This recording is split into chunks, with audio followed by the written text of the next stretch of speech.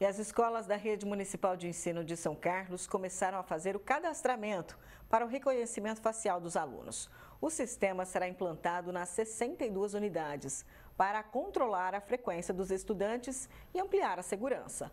A nova tecnologia oferece também dados sobre a vida escolar do aluno, como notas, matrículas e transferências.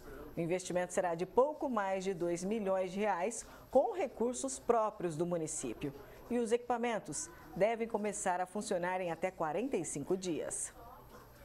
Então, as crianças vão chegar na escola, vão passar pelo sistema, vai ser feita uma chamada de estudantes, é, os pais terão acesso em tempo real, né, se a criança está na escola ou não.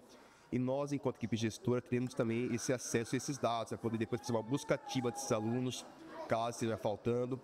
Então, que vem agregar no sistema nosso de controle de presença e também no controle de busca ativa dos alunos que estão ausentes da escola. Por meio dele, nós vamos conseguir registrar a frequência de nossos alunos e imediatamente os pais serão acionados via SMS, sabendo que seus alunos entraram na escola e estão em segurança. Também é possível linkar diretamente com o conselho tutelar para aquelas hipóteses de inúmeras ausências injustificadas, onde a gente precisa fazer a busca ativa dessa criança para apurar o seu bem-estar.